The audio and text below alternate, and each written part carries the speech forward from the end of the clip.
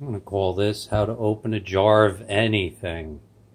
I had some red sweet pepper strips.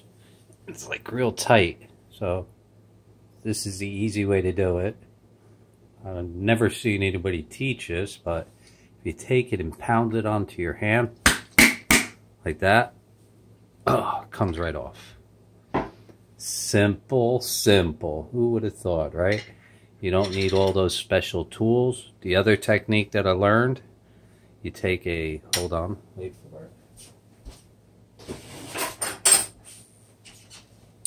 You take the back of a butter knife. If it doesn't open, it's real hard.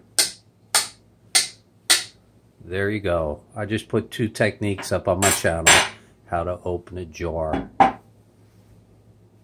Hope you like it it works. Trust me. I've been doing it for a long time.